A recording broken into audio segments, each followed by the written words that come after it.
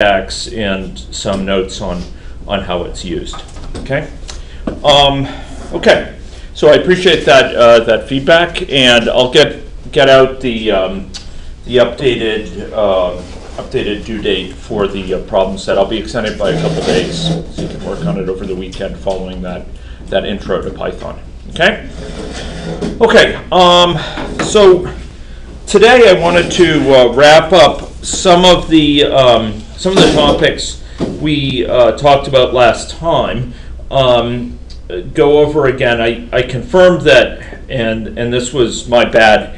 Um, I was using last time some slides that I'd actually put in a deprecated folder, um, and I had revised those slides um, for class last time, but I was using the old version, and that caused some confusion. I apologize about that.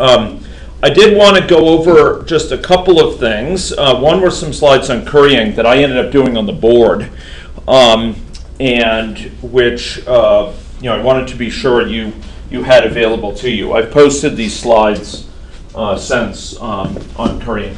So does anyone remember when we talked about currying a function? So we, we had a function and it only makes sense to talk about it in the context of a function of a couple of arguments most classic case being it's, it has two arguments. When we curry that function, what are we doing? Anyone remember?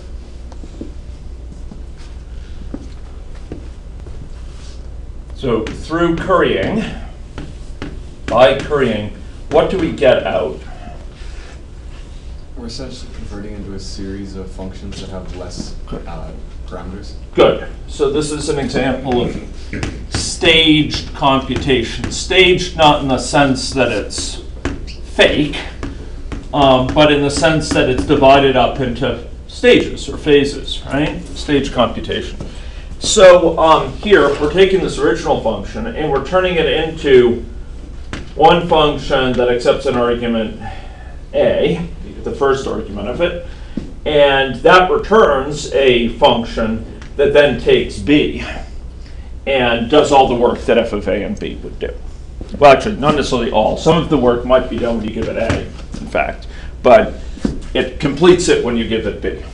Okay. Um, so we divide this up into something along these lines, f of a, which then includes something which might do some work, but then it takes lambda of b, so it returns a function taking a, a b, and then does all, finishes the work that f of a and b would, would perform.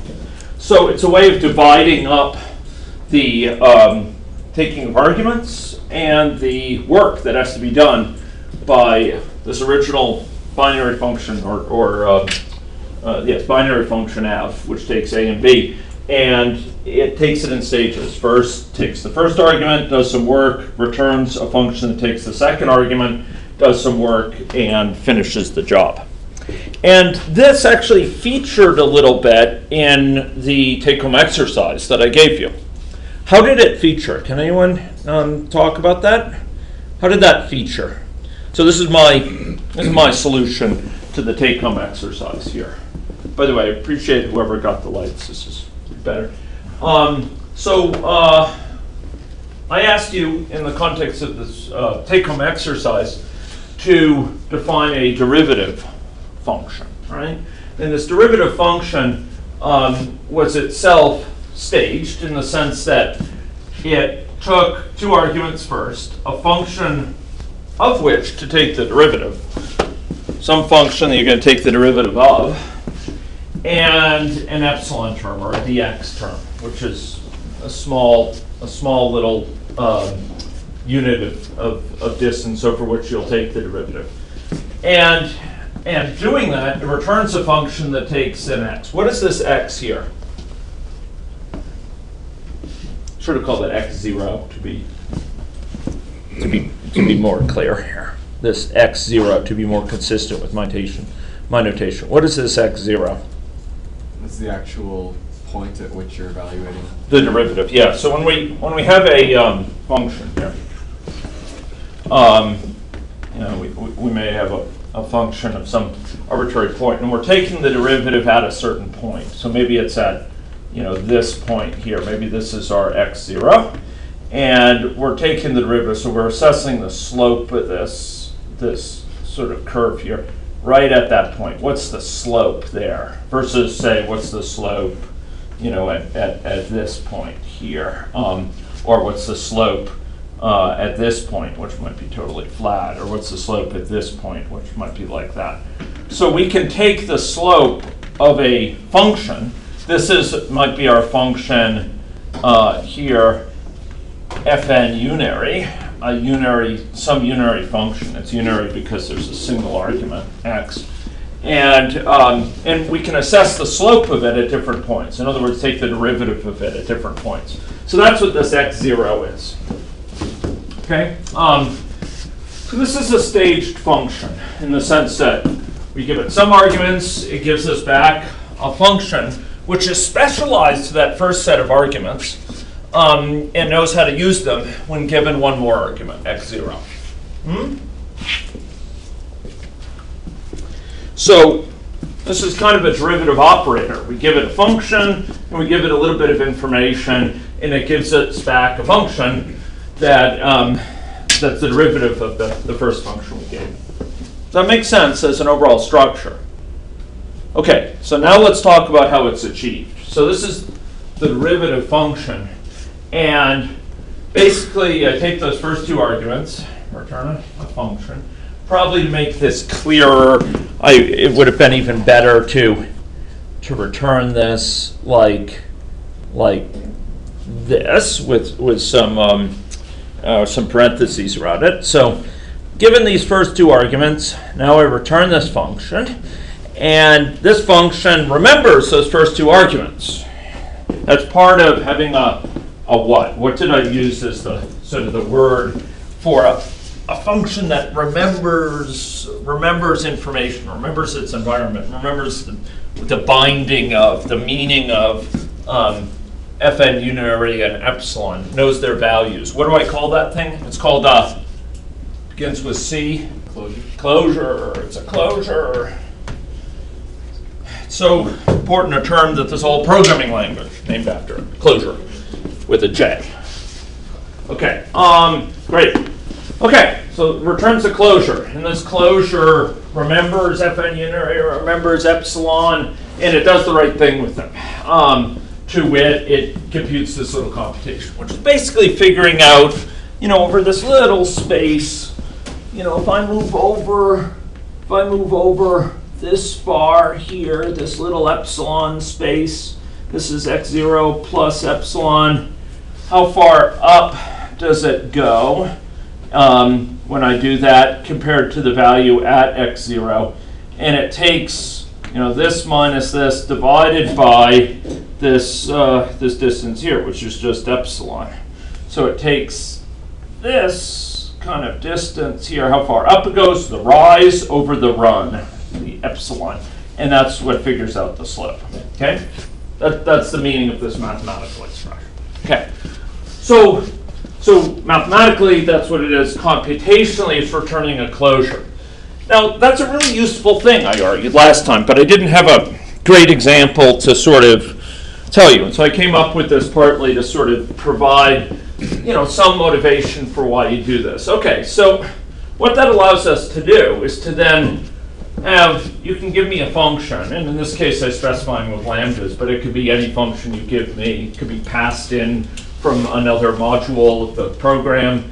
Um, this could be in a library and someone passes in a function when calling this library. And using that, we could take the derivative of a function with respect to some, some epsilon and get out a function. And then we could do things that are useful, like map that function over some test points. Um, and, uh, and I did that here. So these were our test points here. And I mapped each of these functions over those test points. So what is, what is, except for the first, which was, which was zero, D1. Um, so I mapped these over the test points. What's the use of doing this? When I map this, this return function over these test points, what am I doing? In, in, in sort of intuitive terms, what's the meaning of this? That I'm mapping this thing over the test points. You're giving um, dx uh, all the test points in as x. That's right, that's right. Your name? Uh, Peter. Peter, Peter. Um, that's right. So I'm basically, so dx is the derivative of, well, so it's the um, identity function, derivative of, of, of f of x equals x, right? And I'm evaluating that derivative at each of the test points. That's, these test points are a set of points, you know, it starts at minus one, that's minus four times 0.25. And, and then it's minus, it's minus one, it's minus 0.75, it's minus 0.5, it's minus 0.25, it's zero, successfully spaced at 0.25, okay? And for each of those test points, I'm evaluating that derivative of this original function. And I get back some, some values I can look at. Okay, um, and same thing with 2x, and same thing with x squared. So by naming these things, giving them a name, and being able to use them, I can then, I can then use them in my computation repeatedly um, at many places in my computation. I don't have to worry that I have to keep on passing around this lambda or this epsilon here. It just, it remembers all those things, and I can just use these as I see fit, right? Another thing I might do in another program might be to, to use, you know, create this function, this closure, and use it as an event handler. Or I might, you know, use it and, um, and pass it in as a callback or something like that. The point is, having created this function, um, I can use it on a repeated basis many times without having to repass the information that it's remembered, the fn unary and epsilon. It just remembers it. So here I map it, right? I map it at each of these points. And this map works because all this function, say dx, needs to do its job is one thing. What does it need? dx, I would argue, is a unary function itself. What does it need in life to do its job? What's the one thing dx needs to do its job? That is, hey, having, having been created, having been created by this derivative operator, what, what does dx expect as an argument? This is not a, not a trick question. Just the one x value. Yeah, it just requires one x value, x zero. Takes that value and returns the derivative at that point. Um, that's why map works. This derivative operator, it's taking these two arguments, but it's returning a function that respects, just, just asks for one thing in life, and it'll do its job. Tell me where to perform the derivative, I'll give it to you. And it knows what function with respect to take it, right? Fn unary. So, so here I can just map the derivative of this function over these test points. I can map the derivative of this other function over those test points, or of x squared. I created some other test points for sine, and I could map, and, and I took the, the derivative of, of the sine, the sine function, and I could map them over the test points. So having built these kind of functions, that these closures that remember things, you can then use them on an ongoing basis without having to worry about repassing fn unary and epsilon. Those are remembered, one and done. It's been done once, and all you all it needs is the remaining arguments. Now, in functional programming style, regardless of whether you're using Haskell or you know uh, a Lisp dialect scheme or or or a racket or what have you. Um, uh, you know, those languages are all great, and I would encourage people who are interested in them. Clojure is another example one. But regardless of whether you're using those languages or whether you're using JavaScript, or whether you're using Python, or whether you're using Scala, or whether you're using Java 8, it's really useful to know about this basic technique of, of currying or staged computation. You have a function that in a traditional C-like programming language or traditional Java, it would need every time to have all the arguments specified, fn unary, epsilon, and x zero. It would need all of them. But in these, in these, uh, using these functional components, what we can do is we can divide it up into stages where, you know, we give it some of the information up first, up front. It gives us back a function, a specialized function that does its job. It just does its job from then on. And it's a really useful technique for cleaning up code. By contrast, if you had to specify every time to a derivative, you have to remember what function am I doing it with respect to? What's the epsilon and what's the x? It becomes a lot more crufty, a lot more repeated sort of use of certain functions. The code becomes much larger than it has to be. By staging the computation, by dividing it into stages, we can get a clean separation of one set of information from the other, which keeps our code our code mechanisms to a minimum and really can allow us to reuse mechanisms like map that are that are very general and powerful rather than having to you know ourselves manually call call um, you know the the uh, derivative operator with all three arguments. So here by by dividing up the derivative operator into two stages we can clean up our code any questions on that Questions on that? Do you see how these staged computations could be useful in general? Not, I mean, this is one case, but in general, if we could create event handlers, if we can create callbacks, if we can um, create create functions that are then used elsewhere in our program, it means we don't have to carry around and remember. We don't have to remember to pass them a lot of things throughout the code. We just pass them what they need, you know, up front at, at that time, and then they remember it for us instead of us having to remember it. So it takes load off of us as developers. Okay, so that was one thing that I wanted to illustrate with this. And it's a good technique, and it's a technique available to you now in Java with Java 8. Okay? Now, there's some other features of this code that I wanted to emphasize, and I'll I may come back to some of them Thursday when I give this introduction to Python I have to come up with. But one of them was this issue of list comprehensions. So that's what this thing is in brackets here. It's a it's a it's a comprehension. I'm creating here a, a list which is defined with this funny little expression here. And similarly, there's another one down here.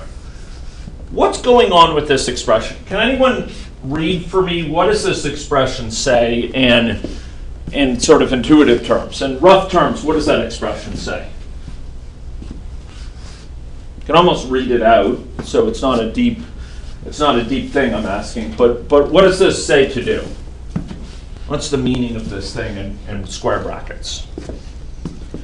In that range, do that um, i times 0.25 to each thing in Good. that range. Good, good. Yeah, it's creating a list, sort of an array type object, uh, for each i within this range from minus four. What's what's this range minus four to five? What's the biggest value it's going to give back? Four. Four, not five, but four. It's going to start with minus four and go up to four, right? Your name again? Eric. Eric, yes. Um, The- These things, like each time they, they, uh, you know, keep on um, pushing through my cranium. Eventually, it'll get through.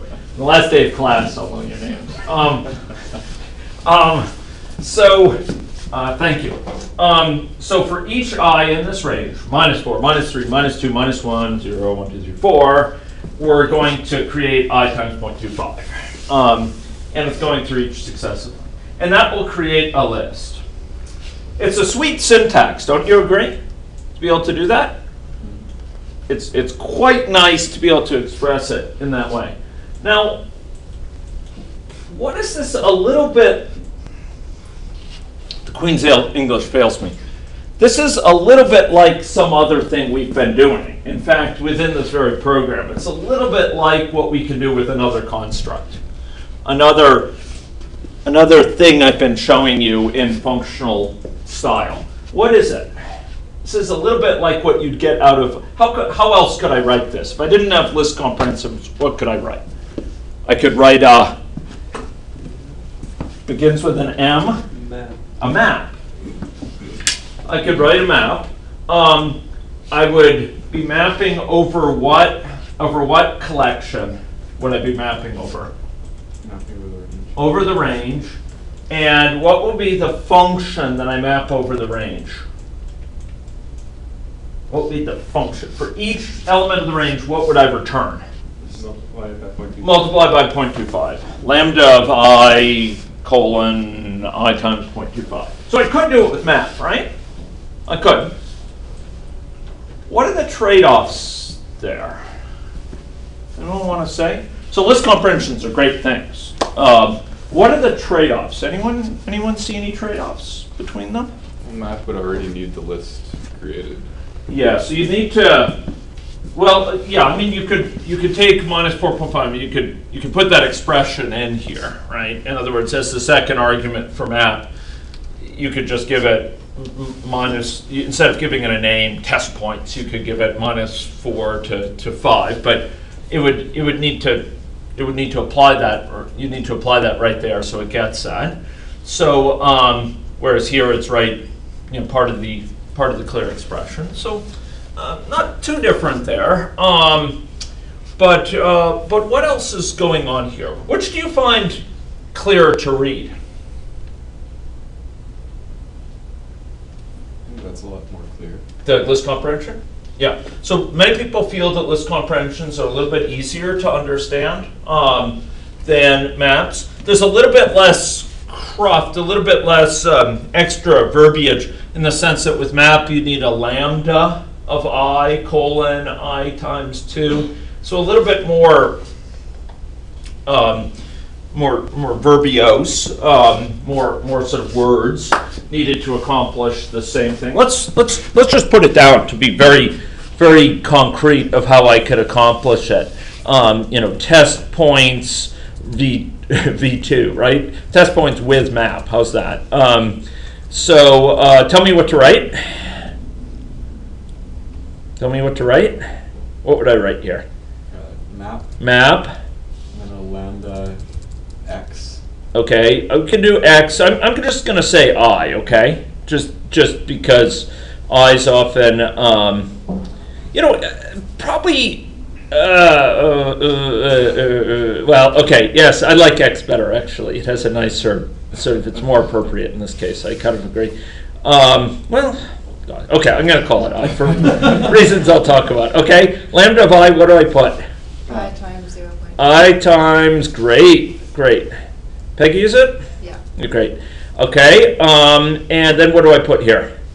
And then you'll do the range. The range, right? Minus four to five. Okay. Um, it's really making suggestions. Um, okay, that's that's great. Um, so that will work. That will work. Um, there's the lambda, which is a little bit distracting. Um, someone would need to know. Maybe Kyle partly had this in mind. Someone would need to um, know that you know range.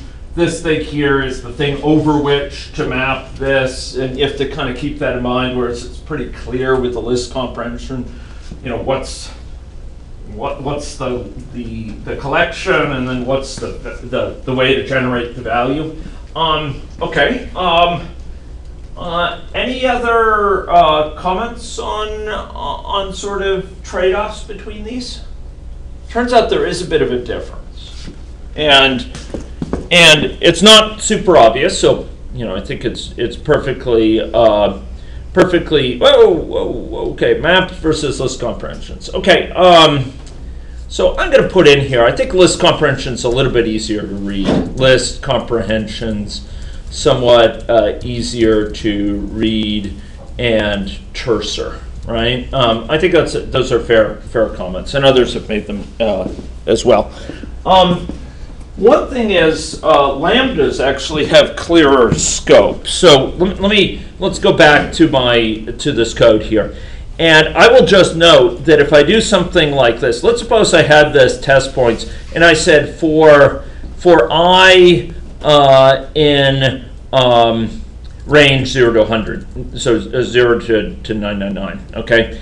I do these test points. It turns out this i here will clobber this one. In other words, after performing this, this i will be changed. Um, so they interfere with each other. This i and this i out here, um, they kind of share the same underlying representation. Is that true for this? Could I, could I, if I had um, something like this, um, and uh, and I had something like this, boom, boom. Um, would this i interfere with this one? No. It turns out it's just like calling a function whose whose parameter is i, it doesn't, it doesn't interfere with this outer one. A whole stack record, or stack, an activation frame, a whole stack, um, stack, uh, uh, activation record or stack frame is created as a result for every call to this. So those eyes don't actually interfere with each other. The other one does. A second thing is this map is actually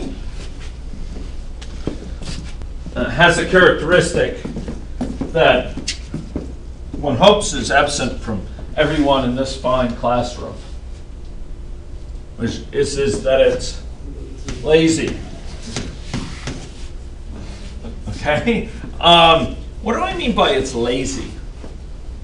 It doesn't do work that it doesn't have to. Doesn't do work that it doesn't have to.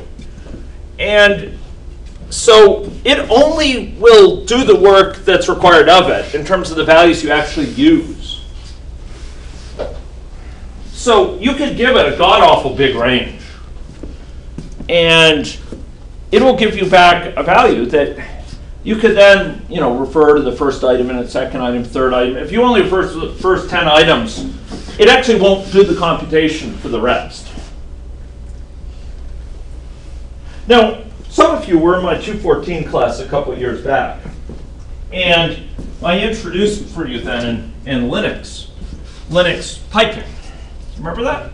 Yeah. Um, so, so here, you know, we might um, we might uh, take a um, uh, take a file, for example, and uh, we might um, we might pass it through successive filters of, of various sorts. So we might pass it through an awk, for example, um, where we actually, so we might do something like ls minus lt for some pattern, um, uh, you know, foo, um, foo star, and that gives us a, a listing from ls, and then we pass it through awk, and we split it up. We split it up according to some particular separator that's significant in terms of the names. Um, and we have a little thing, you know, print, print number two, so print the, the second sort of item in it when divided up this way. And then we might put that into um, some other, some other operator was sed and, and so on. And one of the advantages I argued about doing this was that it's done incrementally, meaning the first item here is processed by this and processed by this in turn, the second item. It's not waiting to the end of this list. It's actually doing each successive one passing through the pipeline. So you can actually stop it at an arbitrary point. You, you don't have to wait for the first one to complete before the second one starts giving values to the third one, and before you start seeing things out of the whole, the whole shebang. And it's like that with map, ladies and gentlemen, in the sense that um, you get you get as many arguments out as you want to process, but it doesn't actually go and, in fact, somewhat of a difference here is it doesn't go and, and uh, do the rest until you need them. And so as a result, you can stop at a time of your choosing. You don't need to, to have it produce all of the arguments. So, ladies and gentlemen, um, map, having, having this lazy feature, allows us to, to sort of um, defer work uh, if desired and use as much as we want and defer the rest to later without overhead, which is pretty sweet, actually. Doesn't have to do all the work up front. And in contrast, list comprehensions don't do that. Um, as, as someone said online, with list comprehensions, if you give it a god awful thing, you will be sad um, because it'll take a long time to do it. Um, it'll it'll stop at that point doing the computation for a very long time. Okay. Um, so laziness. Um, another thing is we can we can actually curry curry map. So we can we can actually create a function that given the collection, given a collection, it will apply a known function to that collection. In a way, we can't curry this. Kind of minor, minor thing, but it's it's a general feature of doing it in a functional way. Uh, list comprehensions, if you're going to write Python, list comprehensions are great things to use, and they're really recommended. Um, I'll certainly use them interchangeably. Sometimes I use map for some reason, or I'll use list comprehensions. But they're very, very nice, very nice uh, features of the language, and we'll talk about them a little bit more on um, on Thursday. Okay. List comprehensions are, are one feature of this code. Um, anyone want to ask any questions about this code before we get on to um, some some new material? Hmm? Okay. So that was take-home exercise as normal. I'll, I'll post it. Okay. Um, possibly this could help you in, in learning some about uh, about Python. Oh, what did I miss here? Python. What did I miss? Colon. Colon. Yeah. Yeah. Yeah. Um, okay. Um, happy. Happy. This this one is bad. This is this is badness. Badness. Um, we don't want them to interfere with each other. Um, okay, great. So um, I think that's that's. Uh, I'll leave that behind now. And now I want to go on to a different topic, ladies and gentlemen. I want to go on to this issue of subtyping. Okay, so this is what we want to talk about. Um, okay, so we're we're transitioning right now from um, discussion of of functional abstraction discuss, uh, to discussion of type-based abstraction, and particularly classes. Okay, um, and we're going to be talking about the use of mechanisms, uh, interfaces in classes in, in object-oriented languages such as Java. Um, and we'll also talk about traits a little bit as they are captured in Scala um, and, and their relationship with mixins. Okay? Um, and within these languages, whether it's C sharp or, or Java or C or Scala, others, we'll often see two ways of capturing type-based interfaces. When we have a type, um, whether it's a class or an interface, we, we express it in those two mechanisms. Um, we can have an interface and provide an implementation of the interface. The interface provides a sort of contract. Or we can have a class, and the class also provides a contract, where classes, we can have inheritance going on, which is inheritance of implementation. Um, with an interface, we basically state what the contract is, and then a given class can implement that interface. With classes, um, when we subclass, it turns out we're not only getting the contract along with it, we are getting the implementation. Okay? Um, and there's things, abstract classes, that provide a partial specification of implementation, but um, but leave the rest uh, to be to be specified. Okay.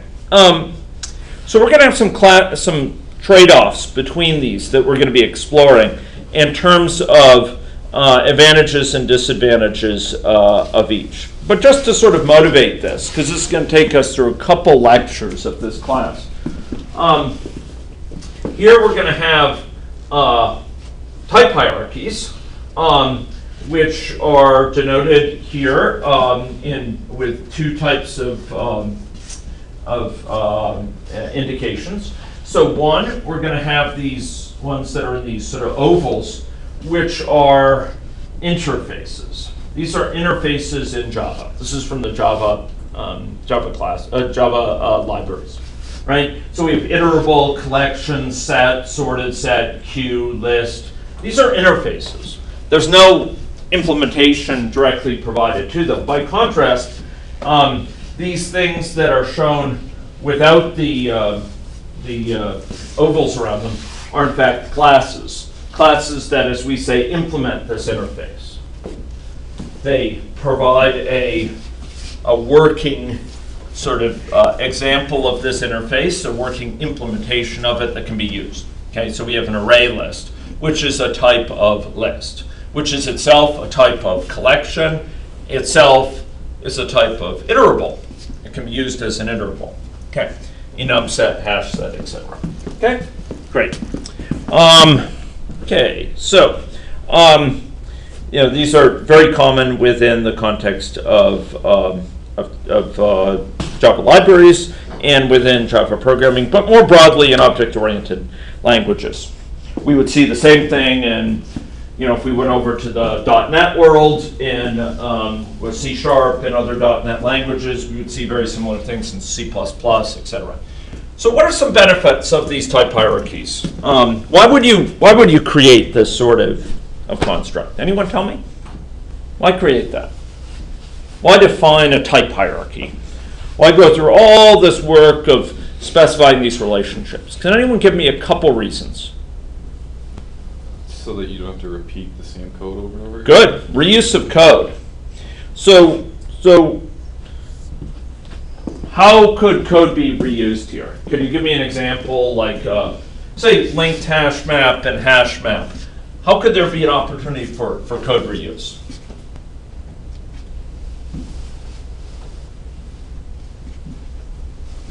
The fact that linked hash map is a subclass of hash map, um, what, why does that help with code reuse?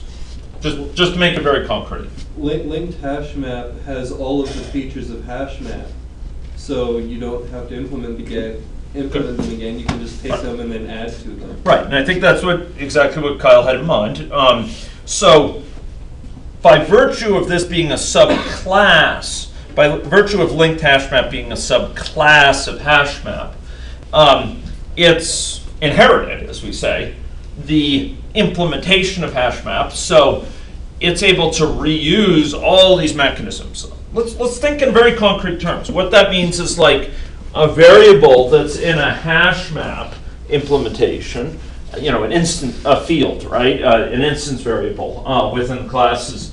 Um, I'm not sure what terminology is used in 270. Do you talk about fields of a class or instance variables of a class? Um, okay. Um, so linked hash map gets all of those, right? But also the methods which are declared in hash map. Linked hash map automatically gets all those methods except those which it does what with? It Override. overrides them, right?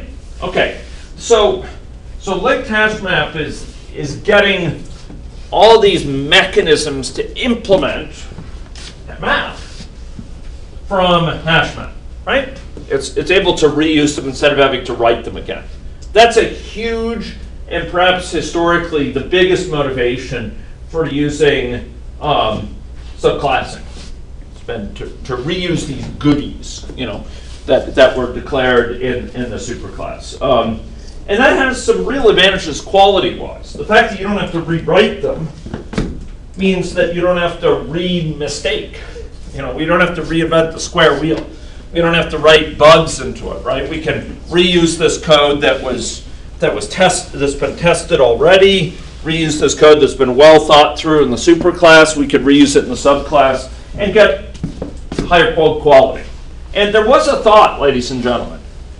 There was a thought early in the use of object-oriented programming. If you look back to the 80s and early 90s, there were a lot of heady predictions that object-oriented programming is going to revolutionize code quality because of this feature. This feature that was mentioned by, by uh, Kyle here and by Royce, that you get reuse of code and therefore reuse of high-quality code instead of writing new code which is broken. Hmm? Do you think that's occurred? A revolution. No, no. It turns out it's been a lot harder than people think.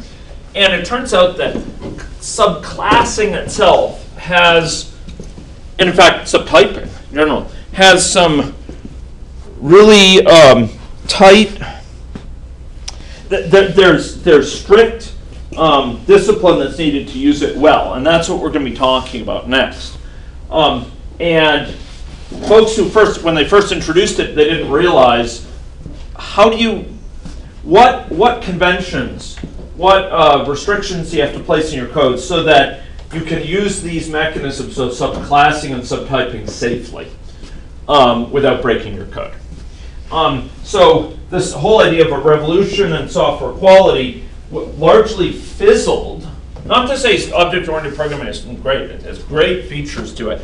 But this idea that would revolutionize software quality got ran into real problems because people were abusing the meaning, the proper meaning of subtyping and proper meaning of subclassing. So that's what we're going to be going to next. But but just to remind us, um, reuse of code is one of the big motivations for this. Another thing is extensibility. This idea of the the uh, open closed principle. The idea is here, for example, that that look in implementing HashMap, it implements a lot of the mechanisms. Linked HashMap only needs to sort of tweak around the edges of it, implement some additional things, and and we don't have to we don't have to go back and re-examine how HashMap works. Once it's defined, we can just extend it without having to, to go back and think about all the implementation details of HashMap and debug it, etc. We, we, we just uh, extend it in a very uh, simple way. Okay, it's open to, to extension, but it's closed to modification um, hash map doesn't have to be re-examined when we, when we uh, subclass it. And then finally, a benefit of what I call polymorphism. Can anyone tell me what's polymorphism? What is polymorphic? What does it mean for something to, to exploit polymorphism? You can cast to sub or superclass. Yeah, yeah, exactly. So let's, uh, Kyle's again hit it on the head. So let's let's go back and and check this out. So, uh, well, we'll since we've dwelled so much on that previous slide, we'll we'll consider it here. So, can you give me an example how you could use polymorphism to reduce the amount of um, well, how could you reduce polymorphism with this? So, suppose I I have something which takes in a um, a file reader here, a, a, a reader. Um, how could I how could I use polymorphism to achieve some extra flexibility? So it expects a reader. What does that allow me to do?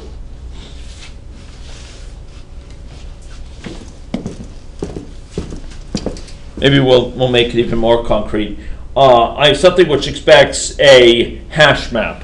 What, it, what can I do? Polymorphism gives me more flexibility. So I have a function. I'm writing a function, and its name, of course, is f. Okay, maybe you missed foo. Want its name to be foo? Okay, okay, fine. It'll be a function foo, and it takes it takes a hash map, a hash map of what are these? What are these things here? These greater than less. Yeah, yeah. So there's a key of values in this case. They're in general they're type parameters. Uh, in C++ they'd be called templates. In Java they're called Generic. generics. Yeah. So maybe this uh, the the key is a string, and maybe the value is a a, a double with a capital D. It's an object. Okay. Great. So foo takes this in, and this is the most un, unfortunate juxtaposition. Okay. And and so this takes an argument A. Forgive my um, uh, I'll call it HM, hash map. Okay, fine. Um, so this takes that. By virtue of polymorphism, what could I do instead? I could pass it a what? Uh, can I pass it a hash map? Yeah, you can pass it a hash map. What else could I pass it? A linked hash map. So the fact that linked hash map is a subclass of hash map here allows me to pass it in as an argument to hash map. Okay? Great. So polymorphism means for things that operate on or process, handle um, supertypes, they can now handle subtypes. They can handle these these subclasses amongst them. But it's not restricted to classes, right? So if I expect a collection, I can pass a queue in, anything that implements a queue, right? Um, if I pass, if I expect a collection, I can be given a list. Um, if I expect a list, I can be given a linked list. List is here not a class, it's a it's an interface. But all of them are, are types. They specify, they delineate sort of a set of possible values. Um, and it turns out that one of the best, most fruitful ways to look at this is establishing contracts. So these interfaces and these classes are associated with contracts, things that make promises of what they do, and then they have many implementations, including implementations in sub subclasses, for example. Okay, so polymorphism provides another big advantage for having these hierarchies. We don't have to rewrite foo and call it, you know, have a foo2, which explicitly takes a linked hash map um, and has the same basic mechanism uh, as as this as foo. We don't have to rewrite this specifically because um, you know each has to be defined for for different arguments. Uh, this would be a linked hash map. We don't have to do this because of polymorphism. We can reuse just this code. This might not have been the foremost thing Kyle had on his mind, but this is another example of code reuse, right? Because of polymorphism, we can pass in something of many different types into a, uh, a method or function that operates on it. I think a good example is Yeah. um, the ability the ability to make a function that takes, for example, you could um, have it take a collection. If it took a collection, then you could have give it an enum set, a priority queue, an array Yeah. list, basically anything. But if you're like, no, I just want it to be like a list, then you just make it a list, and then you can just give it an array list or a linked list, but not like a hash set or something. Exactly. So we can, we can delineate sort of what types of things are legal to give it. We don't have to just say, well, you could take an object, right? No, we could, we could say like, in some cases, I need a list uh, versus I need any collection. Those would be two different cases. But in both cases, you've got a tremendous amount of flexibility because all sorts of people could define subclasses of these in, in fact, subtypes of them in their programs, and they could reuse your code. A very important thing about this, folks, this foo might have been written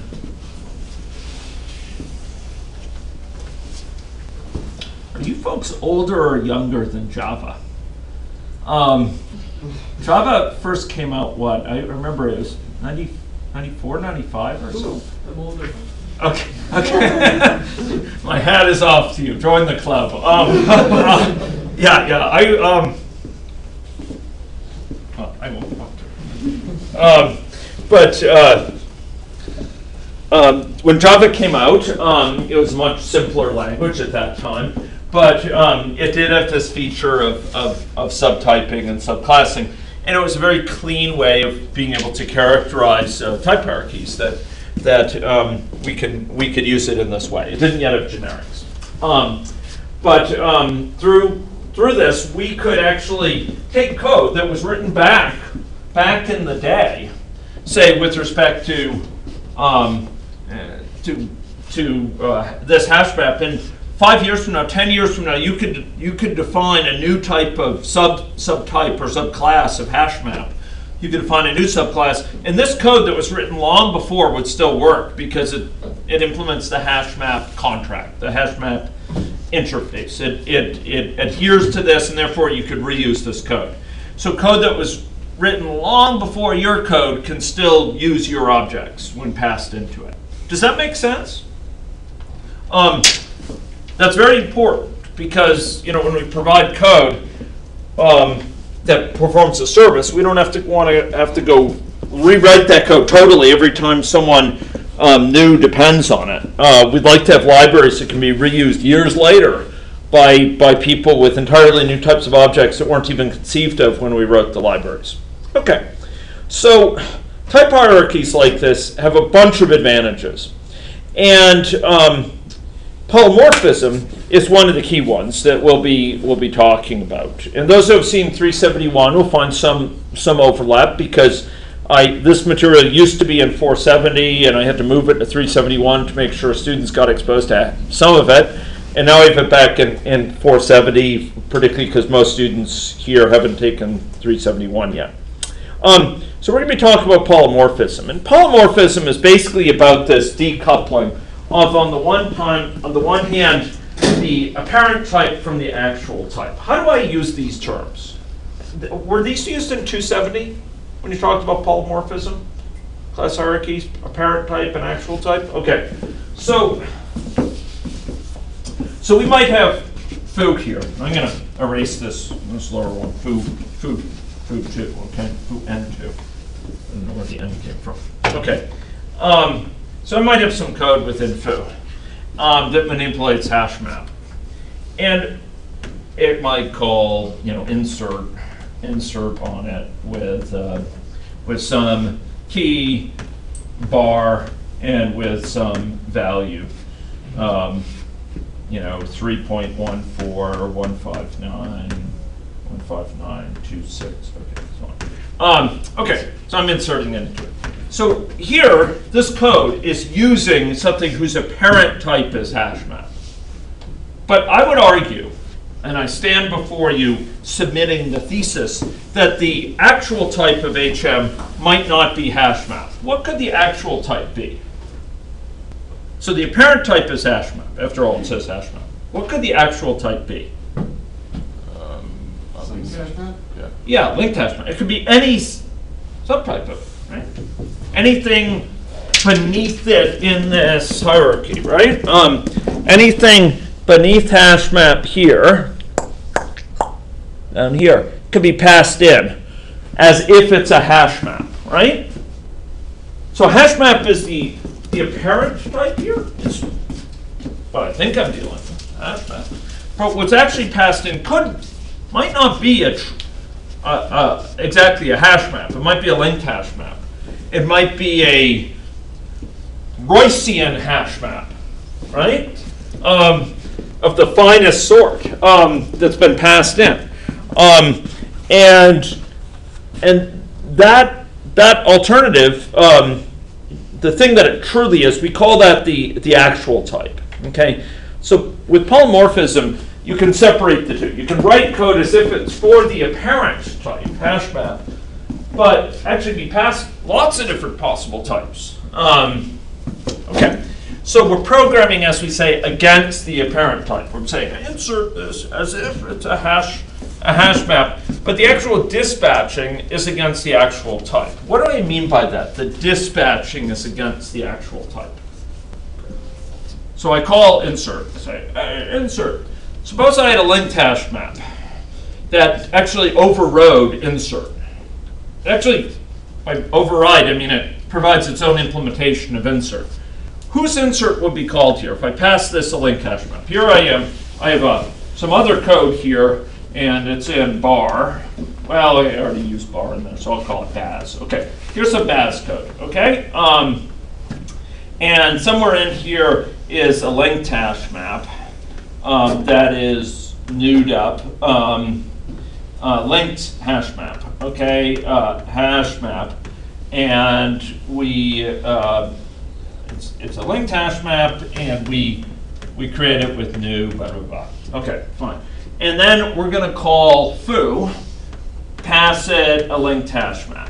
And suppose the linked hash map actually defines its own insert. It overrides the insert of hash map. Whose insert is called here? It's a sanity check. Whose insert is called here? If, if linked hash maps.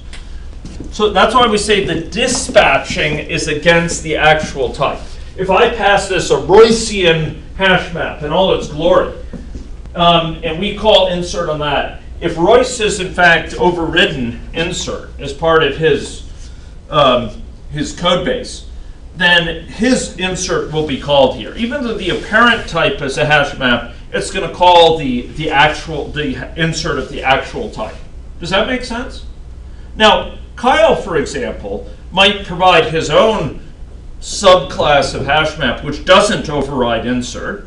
He doesn't need it, maybe, for, for his implementation. In which case, when we call insert here, it it would say, well, for the Kyle's Kyle's hash map, the, the Julian hash map, um, you know, uh, its insert is just the same as the, the, the insert of hash map itself. And so it would actually call just the one in, in hash map. But if, if the actual type overrides it, that's what will be called there. So the dispatching is based on the actual type. Does that make sense? Just trying to get us on the same page for coming discussions. That's, that's how Java works. If, if you're uncertain about that, um, come to my office during office hours. Uh, we can work through some examples. Um, if, if, if you want to, um, uh, you know, you, you'll want definitely to understand this, to grok this. uh, to before you graduate because this is a very important part of object-oriented programming.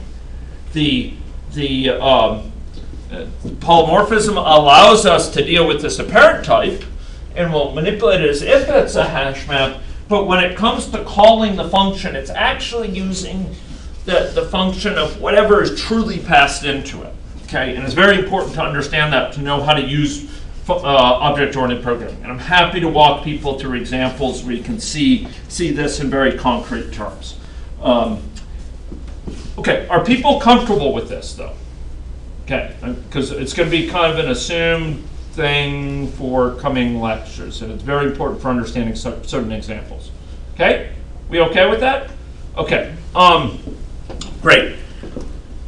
Okay, so, um, ladies and gentlemen, um, the fact that we can use polymorphism allows us to achieve something Kyle emphasized before, which is, is reuse, right? So just to be clear, foo can be reused with linked hash maps, hash maps, Roycean hash maps, Julian hash maps, and finally, even Osgoodian hash maps, um, which are as good as they get. Um, okay. anyway, uh, okay. So um, the question here is: Okay, so what is subtyping required to achieve this sort of polymorphism to be safe? Okay. Um, so so, you know, I can go and I can say, okay, the Osgoodian hash map is a subclass of hash map. And uh, in the Osgoodian hash map, I'm going to override insert, and I'm going to override delete, and I'm going to override add, and I'm going to override, you know, um, count elements or whatever. I can define all sorts of things. What does it need to be to work in code? Um, for for for au- for the Osgoodian hash map to be a genuine subtype of, of hash map passed around on it, um, what does it what does it need for it to, to be safe? Well, I mean, the compiler is going to tell you a certain set of things that needs. You need you need the Osgoodian hash map to extend hash map, right? To be passed around as one of these guys, as a hash map, it has to extend hash map. Does it not? Yeah, it has to extend hash map. Compiler's going to be mighty unhappy if, if it doesn't, right? Um, to say, "Are you to give me one of these Osgood things?" Um, you know, I expected a hash map, and you gave me an Osgood hash map. Um, uh, well, it doesn't cut it. But if Osgood hash map extended, extended uh, hash map, then it's going to be fine. It's going to be hunky dory. It's going to be it's going to be uh, happy with it. Okay? Is that enough? Is that enough for the code to work? So if I pass in an Osgood hash map, um, will will it will it allow code that's expecting a hash map to work? That's the question. What does it take to make sure that I, in creating an Osgood hash map and passing around as a subclass of hash map, don't break someone else's code that was written long before, perhaps, ladies and gentlemen, even I was born. I know. Maybe you, maybe you think we all we had were ones and zeros then, right? Yeah. Um, okay. So so uh, here we're going to have, uh, for example, an interface uh, adder, and I'm going to define a my adder which implements it. Okay. Um, and then I have some client which uses um, uses as an adder factor. I, I create create an adder. Okay. Um, so the question question is, uh, ladies and gentlemen, um, I have this way of creating an adder, and and I'm going to use an adder here. Um, so uh, let's let's consider this code. So uh, I have this. There's an adder factory. It returns an adder. Okay. Um, uh, and now I have a my adder um, that claims to be an adder, and secretly that's what's created by this factory. Um, is is that going to be okay in terms of how adder client uses it? Is it going to break adder client, for example? So we're going to talk about what it means for a type to be genuine as a subtype of another type. for Osgood HashMap to be a legitimate subtype of hash map, there's certain things that need to be the case. And it has to do with this idea of substituting one for the other. If this code was written long before uh, linked hash map or Osgood hash map was written, what does it mean for this code to be safe? Um, uh, in terms of, of how Osgood hash map is defined. So a subtype needs to, in some sense, adhere to a certain contract with its supertype to be viewed as a legitimate subtype, a, a genuine subtype, a uh, compatible subtype. Um, and it's not just a matter of saying it's a subtype of it and simply asserting it. It involves behavior, reasoning about how it behaves. Okay. And the key thing here is a compiler won't check this for you. This is one of the big reasons why object-oriented code has not led to a revolution in code quality. It's that people don't adhere to what's really needed, and it requires reasoning about behavior. Okay? So the fundamental thing is, if foo is counting on certain features of hashmap, Osgood hashmap can't violate those features. Can't can't fail to adhere to those features itself or else the person who wrote foo will be deeply surprised and disappointed. And we're going to go through in concrete terms what this means and try to help you folks be able to realize when you write code, is it legitimately using polymorphism? Okay? Now, we're going to be talking about it for subtyping, but we're also going to be talking about subclassing, ladies and gentlemen, with um, which has subtyping, but also, as Kyle emphasized, code reuse. So, so let's um, let's talk about about uh, this feature. So, here, ladies and gentlemen, we have these interfaces. These are defining contracts, um, but not implementations. And something that's a list can be passed in as a collection. That's a subtyping relationship. Something that's a linked hash map can be passed in as a hash map. That's a subtyping relationship. But more than that, this is a subclass. Linked hash map is a subclass of hash map. What does that mean beyond just being able to pass it in as if it's a hash map? What does subclassing involve additionally beyond subtyping? Implementation. Implementation. It reuses the implementation. So, so you know, list is a subtype of collection, but collection doesn't have an implementation yet. It's an, it's an interface, and list isn't reusing an implementation. We could have a class that implements, for example, HashMap implements map. There's no reuse of implementation, but if we have subclassing going on, there's a reuse of implementation. Actually, all those instance variables, all those methods get reused by linked HashMap. So with subclassing, we get polymorphism. We get the ability to pass the linked hash map in as if it's a hash map, but we also have reuse of implementation. And that's going to lead to yet another level of sort of needs in terms of what it means to be safe. Okay? Um, okay, so, um, you know, here, and one thing I've, I've been uh, emphasizing in earlier lectures, we're trying to ensure modularity. We're trying to make sure that. Um, that uh, we don't have, uh, when we extend a system with a new subtype or a new subclass, we don't break everything that's already there. This is what's called the open close principle. Um, software entities should be open for extension but closed for modification. Just because I come along and I want to create an Osgoodian hash map, I shouldn't break all the code that already counts on hash maps. I, I shouldn't break that code and force it to be changed. And I shouldn't even force HashMap to be redefined. The implementation of HashMap should not have to change just because I want to create an Osgoodian HashMap. Do you understand that principle? After all, someone might have written HashMap when you were yay tall. And you don't want to, them to have to go back and say, oh, Osgood's on the scene now. You know, now we've got to rewrite HashMap. That's that's not how good software is written. That you know every time it's extended, you have to go back and reinvent what's in the internals of the software. You want to minimize things, and that's the, the idea of the open close principle. Just because I want to extend the system shouldn't break the system as a whole. Okay? Um, so we're going to be talking about um, several needs for this. Um, and uh, one of the issues here is that um, we can we can have uh, subtypes that are not in fact behavioral subtypes. They're, they're fake subtypes. They're they're subtypes that are claimed to the compiler. Yes, this is a subtype of that. This is a subclass of this, but they're not used as that. They're not used in that way. Their behavior violates the contracts. And as a result, they will break code like foo that's depending on the apparent type, but and it's passed a fraudulent subtype. So this is one of the big issues we'll be talking about.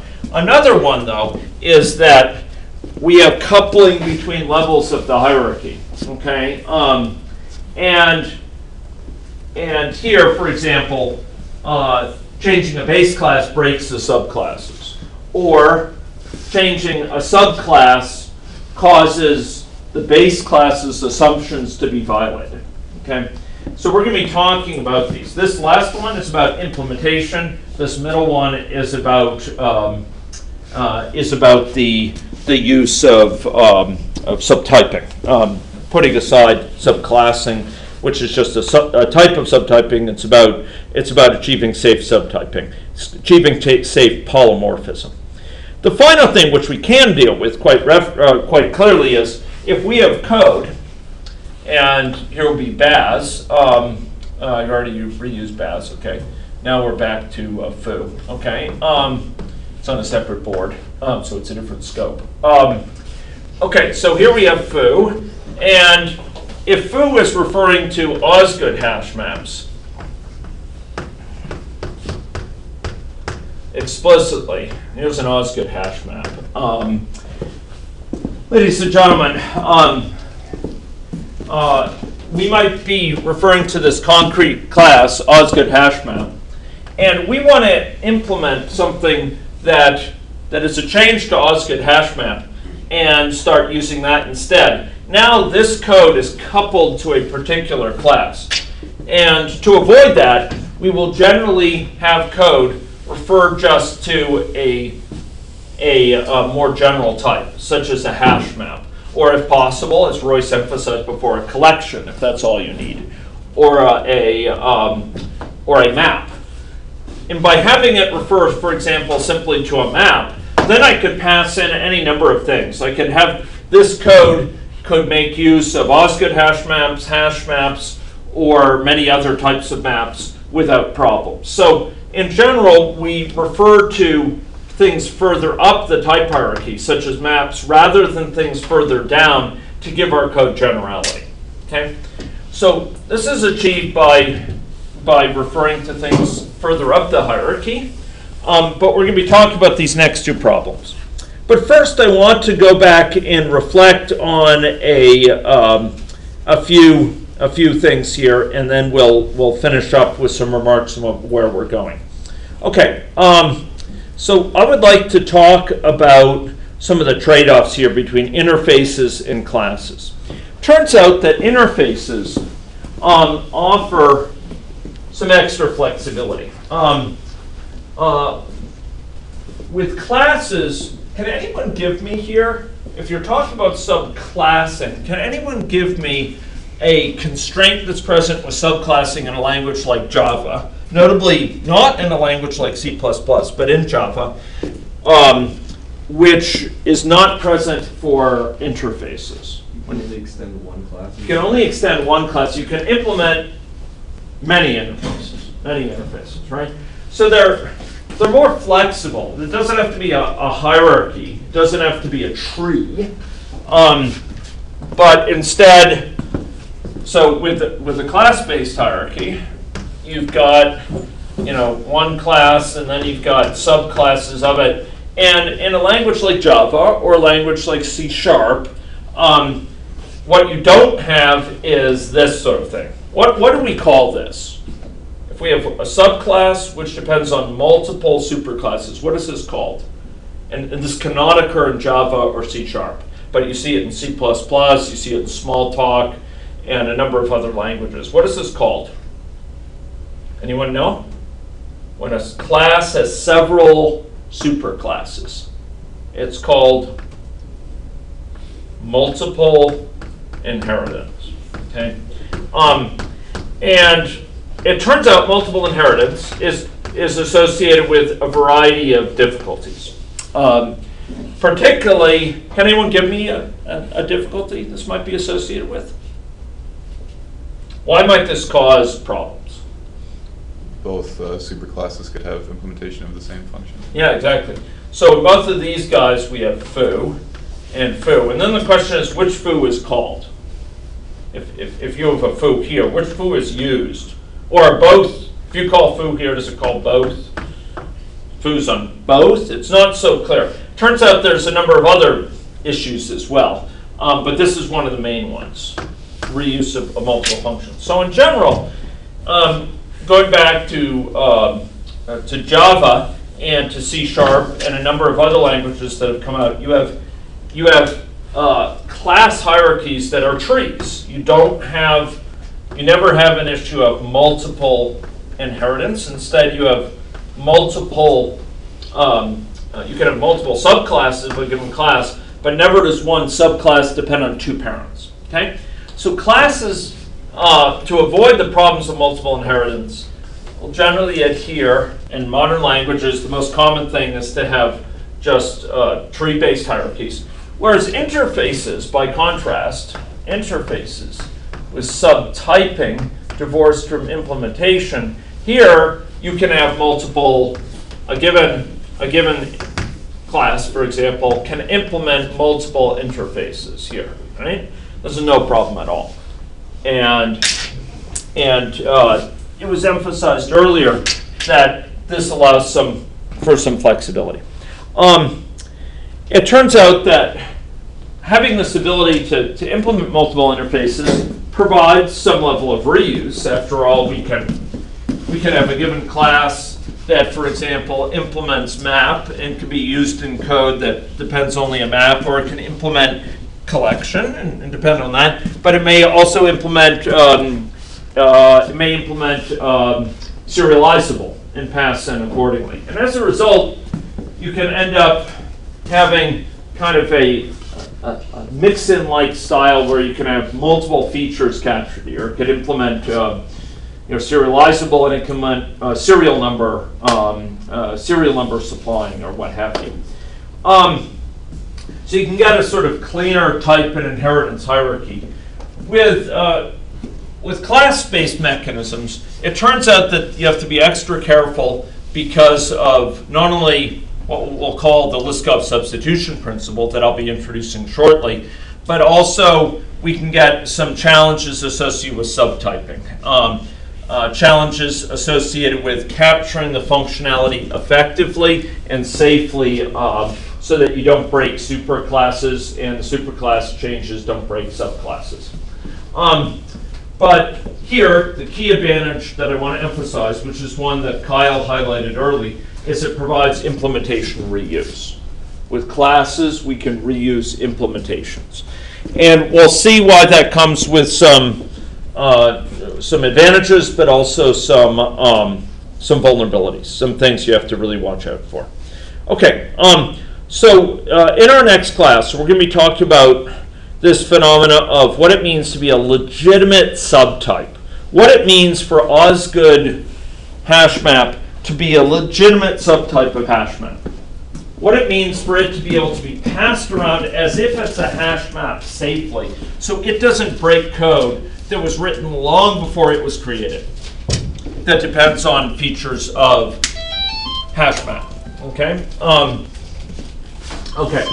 So yeah, that's. Um, uh, very active today. Um, so we're going to be talking about this phenomenon of, of fraudulent subtypes, in which it's easy to create a sub something that's claimed to be a subtype, but actually doesn't act that way. It doesn't it doesn't act as a legitimate subtype.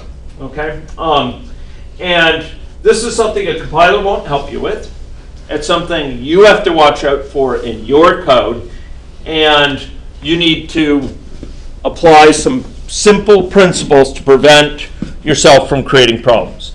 if you create a subtype that's not a safe behavioral subtype, it's not a legitimate subtype, and uh, in short, if it's a fraudulent subtype, very easy to do by accident, you, your code may well be littered with bugs. So you have to be very careful about this, and this is why we're going to uh, be talking about it. Now, it turns out that with subclasses, um, people reuse them for inheritance, and they get subtyping for free, and then they end up abusing subtyping. So it's very common with subclassing for people to misuse it in a way which leads to bugs. And we'll, we'll see how that, that occurs, okay? Um, so subclassing is seen as a desire for code, seen to be motivated by desire for code reuse, and as a result, it breaks old code. Um, so we're going to be introducing the Liskov substitution principle, which basically provides us a way to reason about the safety of code that uses subtypes. Um, so that's all we have time for today. Uh, on Thursday, I'm going to be going over a quick introduction to Python.